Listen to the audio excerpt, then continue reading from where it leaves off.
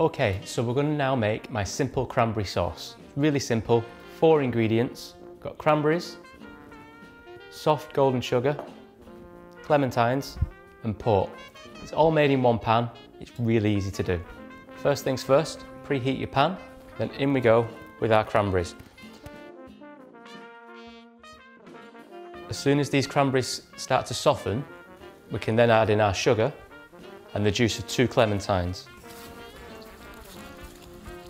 Quick stir around, and the next job, we're going to go in with a shot of port, around 100 mils. You can leave this out and increase the liquid with your clementine if you prefer. The only thing that you have to do now is sit and wait for the sauce to thicken and the cranberries to start to pop and release their juices. Now one tip for people at home who want to know if the syrup's at the right consistency is just take a teaspoon and run it through the liquid and if you can see that it evenly coats the back of the spoon without falling off, you're in a good place.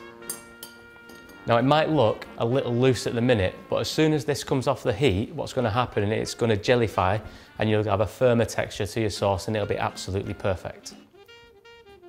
So now our sauce is done. Just going to pop it straight into this bowl. And there you have it. Ready to take straight to the dinner table.